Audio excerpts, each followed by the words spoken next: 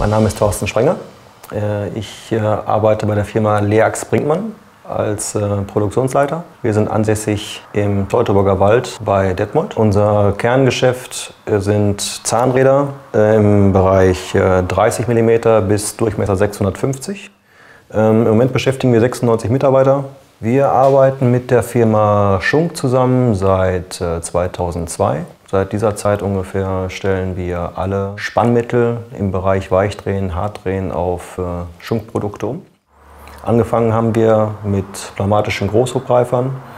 Losgrößen ab 50 bis 150 äh, bearbeiten wir mit einem elektrischen Großhubgreifer, um die Packungsdichte auf den sehr teuren Systempaletten eigentlich so, so gut wie möglich auszunutzen.